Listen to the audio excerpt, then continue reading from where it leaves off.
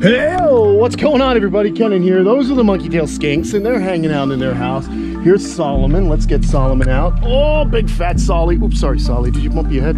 There's Solomon, everybody. And what I want to do today in this video is uh, we're going to give these guys a complete makeover in their enclosure.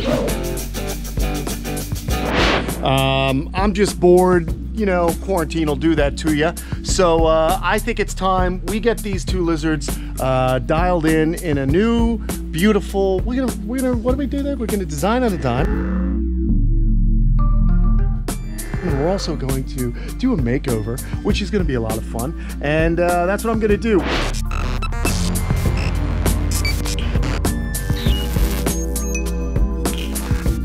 Going to uh, secure this bottom a little bit better because eventually... Jeepers, that was loud. Sorry, are you okay in there, young lady? Sorry about that, dear.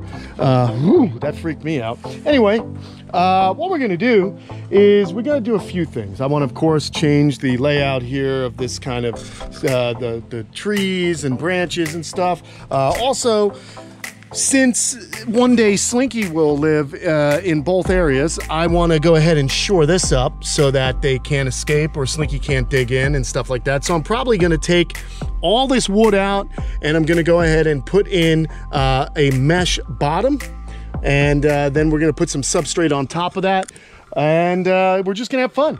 Uh, let me show you what we're working with here, people. Got a package, people, and uh, it's like this. So where is Slinks? Oh, there he is. Hi, Slinky. He's just catching some rays. Oh, by the way, Guapo is doing splendid. Hey, Guaps. His legs good, good. He's been making poopies. He's looking hydrated. He loves a good scratch. He's chasing Lola around. So all is correct in the universe right now. So that makes me happy. But uh, in the meantime, we are um, going to show you what we're working with. As you know, our friends at Fluker sent me a massive shipment of their materials. So what I'm gonna do is, I had all that stuff in the garage and I need to make room. And uh, what better way than to actually use the stuff? So uh, you'll see, we got a whole big pile of fun things to dress this enclosure up with. And uh, we've got bedding, we got coconut bedding, we've got Reptibark there, we've got it.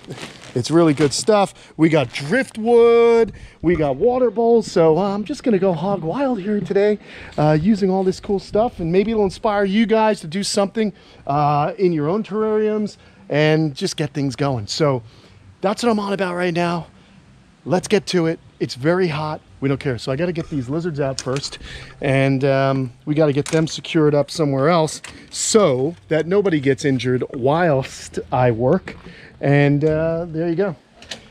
Hi, Slinky. Me again. Don't whip me. Thank you, buddy. I love you. All right. You know, you got to talk to Slinky, let him know where you're at because uh, if you don't, you startle him and he gives you a good whip. I've also done this. Just check it out.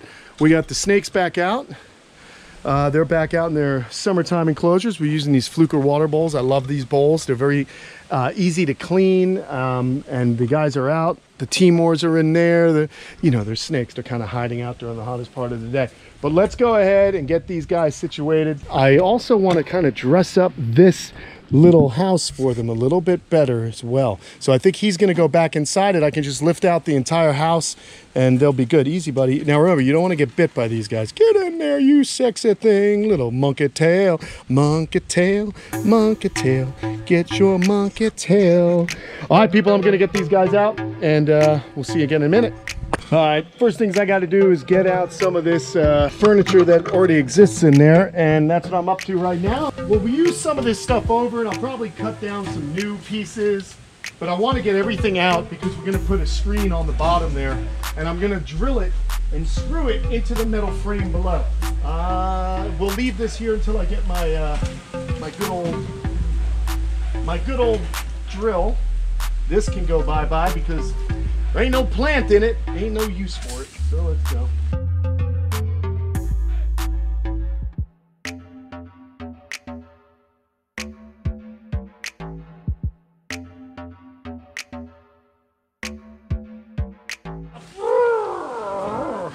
Now, the key is not to drop it on a tortoise, a little turtle, or lizard. Oh, that was dangerous. Whew. My shoelace got caught. Okay. There you go. Next, I'm gonna just cut some screen and we're gonna put it in there.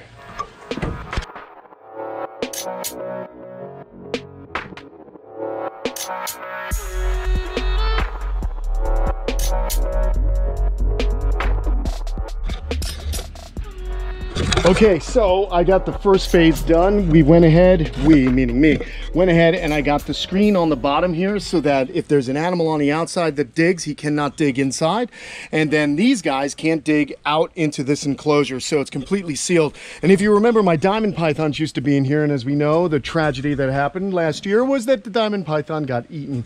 Uh, I did seal this up. It's double layered, so there's no chance in Slinky getting over here again. Uh, there should be no issues and I'm also going to put some extra latches on this door. Uh, there's going to be one at the top and then one down below as well. So we're going to make sure that this is a completely enclosed enclosure and uh, these monkey tails will have no issues. So I'm probably going to remove this, start putting up some different trees and branches, work on their hide box a little bit. Uh, I've got some cool ideas for that. Uh, but in the meantime, uh, yeah, that's a little update. Uh, we're going to keep on going. Uh, right now I got to stop and uh, put the propane uh, tank onto the grill so that we can get dinner tonight. Uh, Kate's making something on the barbecue, so that'll be pretty fun. Uh, but yeah, so I made a mess. Some of these uh, I'm going to use again. others I'm not. There's a Lola, and then we've got a little, oh, there was a little guy floating around, a little box turtle, a little Chinese box turtle. There he is. Hi, how are you? So I've got to be careful where I step. But otherwise, things are going well. So I'm really excited. So that's done. We're going to start getting the furniture back into the enclosure, start setting that up, and uh, I'll see you guys again in a second. Bye.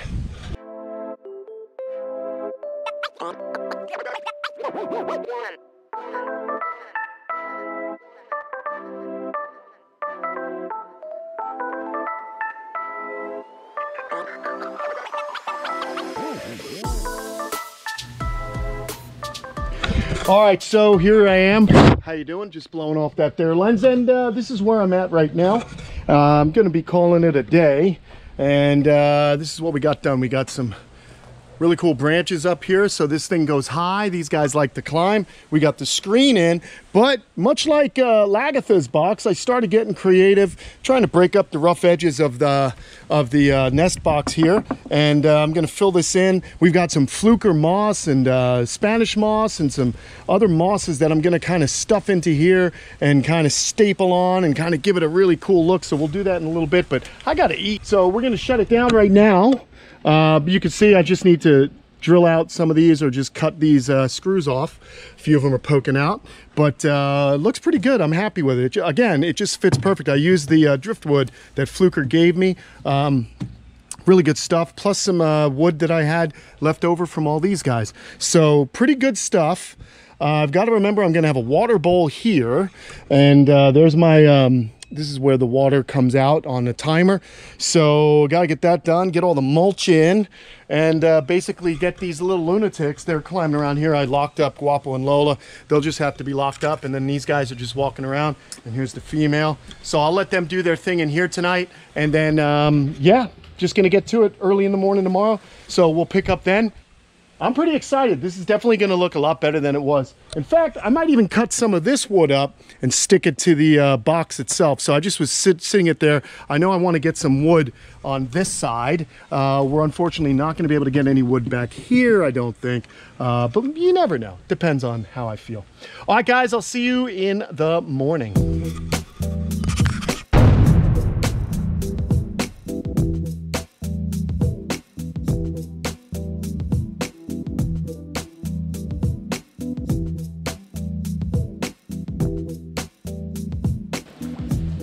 All right, everybody, uh, we are back at it this morning. And um, as you can see, I did a few more things to the nest box. Uh, I just like the way these look, man. It's a little different. And uh, we cut out a hole. They can get in there. Should be no issues. They could squeeze through there. Um, but uh, now we are in the home stretch. Uh, the lizards, there's Solomon. He's just been hanging out up here all day. And then little El Diablo is up in the corner over there. Um, basically, I want to get these guys back in because we gotta let Guapo and Lola out of their house because the days are wasting. So I've been hard at it. Well, let me show you what I've done so far. I put a little bit of a barrier up just to hold in some of the bedding that we're to get working on here in a moment. Um, so we've got a barrier now to kind of retain some of the soil. We've got the mesh down, the wire mesh. Uh, this is good stuff. No one's digging through to get out or in. We've got all kinds of really cool stuff for them to climb around on. And uh, yeah, we're gonna start working on this box, just dressing it up a little bit more, dressing up the enclosure. I kind of love this stuff. Now the good thing is, is our friends at Fluker, uh, actually have really cool products that are going to help me out. Now, a lot of this stuff can be used in home terrariums. If you guys watch my buddy uh, Serpa, uh, you know, Tanner Serpa, he can use this type of stuff to make really beautiful paludariums and terrariums. I'm not as talented as him, uh, self-admittingly that, uh, but I like to do things outdoors, and this product is great for outdoors too. So what we're gonna do is I got two bags of this coconut fiber bedding we're gonna mix in with the Reptibark here. I always love this Reptibark, especially when you're mixing it in with this bedding here, the coconut fiber uh, bedding, because it's just a nice natural earth uh, and when you mix it together, the coconut fiber is gonna actually retain moisture. So say we're using it for little guys like these box turtles here, these Chinese box turtles. If I were doing this for my baby tortoises, which you've seen, uh, I like to mix this together because it gives a nice consistency. You get a thin layer of the repti bark on top and uh, you put this stuff on the bottom and this holds moisture. This is good for resistance when they're walking on it and when they burrow down they get to that microclimate that they need. So very important. Same thing with these lizards. I just want a nice uh, kind of organic substrate for them to kind of have their droppings fall down. The cool thing is, is that all the little bugs and beetles in here are gonna eat their droppings and it will become a very nutrient rich uh, environment for those bugs. So it's kind of bioactive outside. We've also got some uh, moss here some sphagnum moss. We're going to moisten this. I'm probably going to put it, uh, some of it inside the actual uh, nest box because I think they would like to lay on this rather than just the wood. Uh, so we've got two bags of that and then we've got some Spanish moss. Now I can find this stuff just kind of hanging out all over the trees. But for those of you that live up north, no worries because they actually package it. And uh, this is a really cool decorative uh, place. Now the animals can actually get into this. You can use it as a bedding. You can moisten it if you'd like, or you can decorate the terrarium, which is what I'm gonna do. And we're gonna start right now with this stuff. I wanna just start hanging it around some of the areas on this um, on this box right here. Oh, the other thing I have, which we'll do first actually, to be perfectly honest, is I like these little water dishes for my animals. So let's open this Fluker water dish up. It's just a cool, natural looking design. Just open this guy up.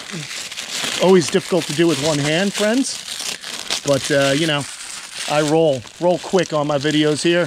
You just get it done. So just showing you guys, giving you some ideas how to kind of turn things into a little bit more of a natural look. So we got this right here and I'm gonna drape that in there and there, the water's gonna fill up and uh, no issues. We'll have a food dish here for them. Uh, but I like this. There's a little highway right to their home. Uh, pretty cool. And let's get to it. Let's grab this stuff and see what we can come up with uh, with it right now.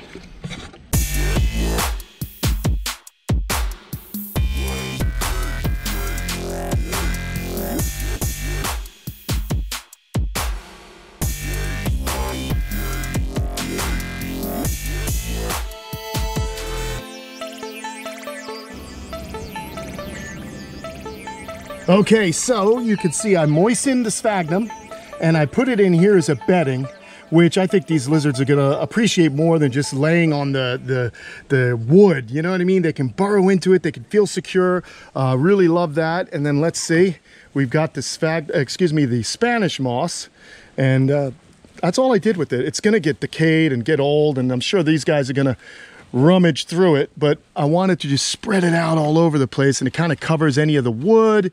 Uh, when It really looks good when you drape it though from the top. You see that? And it just falls down. It gives it a really cool uh, otherworldly look, which I like. And uh, there you have that. So now we're gonna go ahead and put some bedding in. I'm just gonna go ahead and spread around some of this uh, coconut uh, bedding and then we're gonna clean everything up and then we're gonna be ready to get these guys back in. Are you excited, buddy? Are you excited or what, man? It's gonna be so cool. All right, so here we go. I'll just put you guys right here while I open this and we'll just spread it around. It's not really rocket science. We're just gonna dump it in. And I don't really need a lot. These guys are arboreal, so we'll get one bag and I'll just kind of throw it around. I'll probably hit this with a, um, a little bit of water here in a little while. Gonna moisten it down. Just gotta let this happen. Some of it's gonna fall through. I might need uh, more than two bags, which no worries. Fluker's got me covered. So let's go ahead and keep going. Let's get it spread around.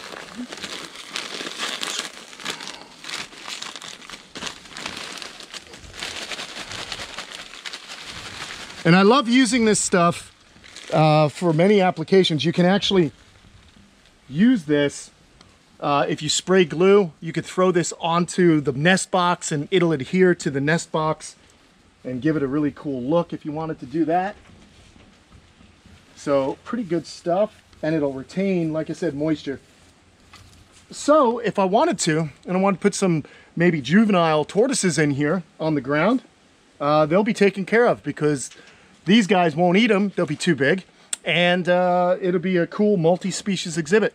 Maybe I can put some kind of baby elongateds in here. That would be pretty amazing, wouldn't it? Because these guys are kind of close to the range. Well, not really, uh, actually. They're from the Solomon Islands and the other guys are from Indonesia. But they have the same requirements uh, as far as humidity and diet. So it wouldn't be that big of an issue.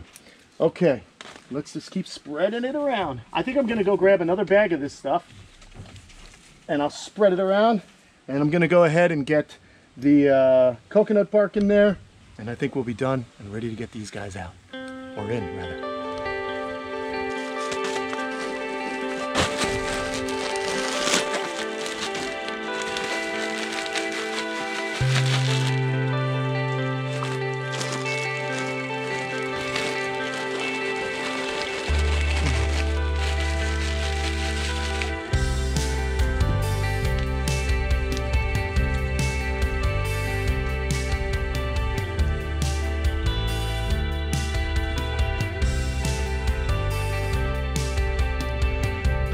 All right, we are doing good here. Let's get these bags of the Reptibark in.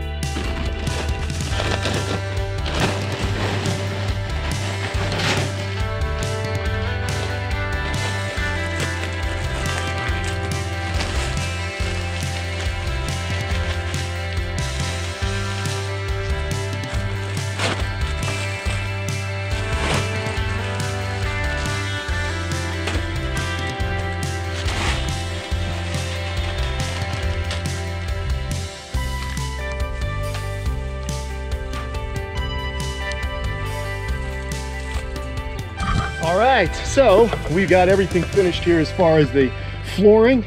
I love this uh, forest floor. It looks really cool. Uh, it definitely makes things look a little bit more natural in this enclosure. But I forgot one thing that I have. I want to try out these bender branches, these vines. Uh, I could set these up and string them along and it'll give it more of an area for these guys to practice and enrich themselves on. They can use that monkey prehensile tail right there. So I'm gonna go ahead and get that going and uh, then we are done. So uh, let me string these up and uh, we can put animals in.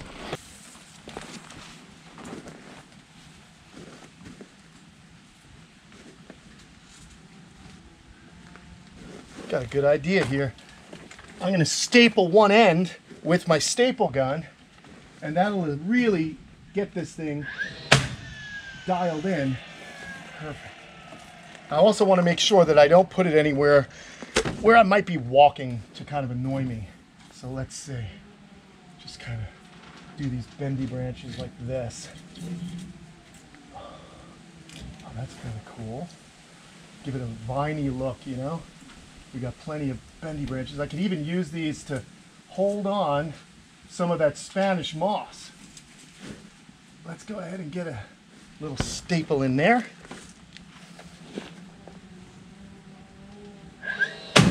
Perfect, perfect, perfect, perfect. I love it. this is the fun part, guys. You just get to uh, be creative and imagine yourself as the reptile and what would they want? how would they want to move around? Give them things to explore and do. That's how you give animals enrichment, and that's how you also enrich yourselves by being able to watch these animals and know that you're doing everything in your power to give them the best possible life. This is fun.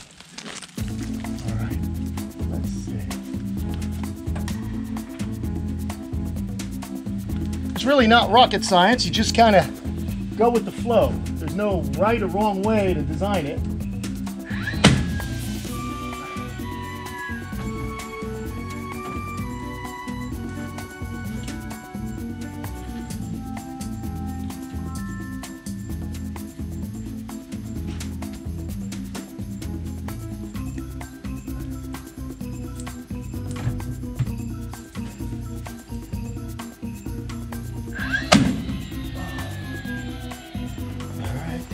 One more.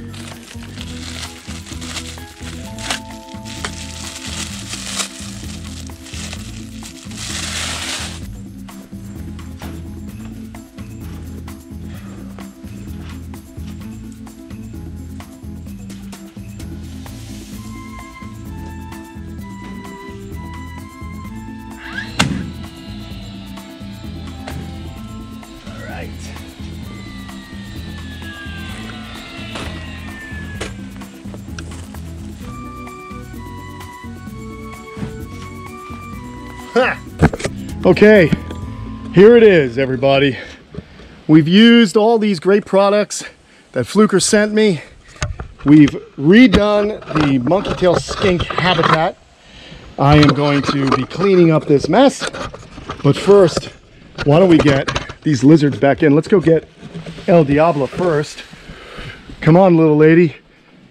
Oh, come on, baby girl. Now you gotta be gentle with her. You don't wanna hurt her as you pull her off. And I also don't wanna get bit because she is quite the ornery gal. Because she got all them teeth and uh, not enough toothbrushes or something like that. I don't know. Let's see if she can climb on this stuff. Let's see. Let's see how she handles. Look at that. This is great. No issues, man. Just climbing on that vine. Oh my God, the Repti branch. Look, and she uses her tail to counterbalance herself. Very cool. Looks like she's shedding a little bit. Very nice. Oh, so awesome. These guys are great. Hey, Solomon, are you ready, buddy? Are you ready to go back in? I'm to grab you now, bub. Come on, my friend. Come on up here. You got the sharpest claws. These guys really do have some sharp claws. So when you grab them without gloves, you feel it. But look at, he's to let go. There you go, buddy. There you go. It's okay. Let's see if he does well on the Repti bark, or rather Repti branch. Let's get him up here. Come on, bub. He's a bigger lizard, but let's see how well he does. Don't worry, I'm right here. And he's clamped onto my fingers. Oh, look at this. Look at this. Oh my God, they can do so well.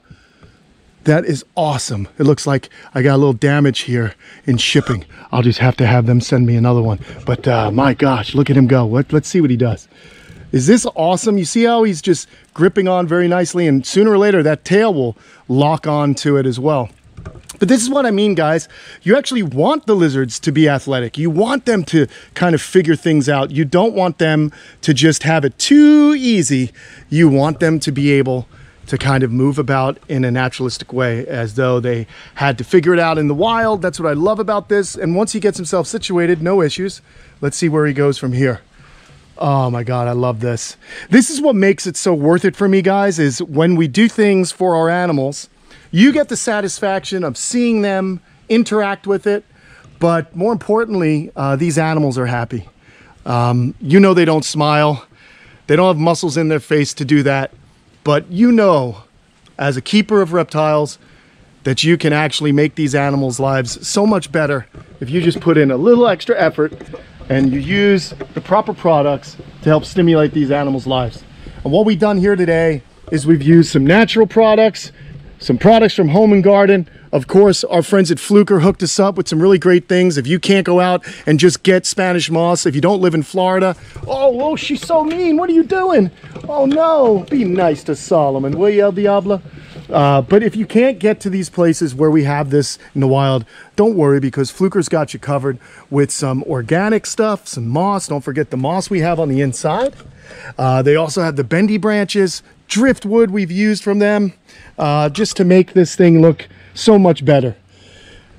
If you're like me, you always wanted your own little private zoo. You always wanted to see these animals up close and personal. And that's what the joy of keeping reptiles is all about, man. Getting to share space with these animals and be their steward. You don't own them, you take care of them. They're your wards, so you got to make sure you do the best thing for them. And that includes husbandry, diet, and of course, the environment. Well, there you have it, everybody. We had some fun today. I hope you enjoyed this video.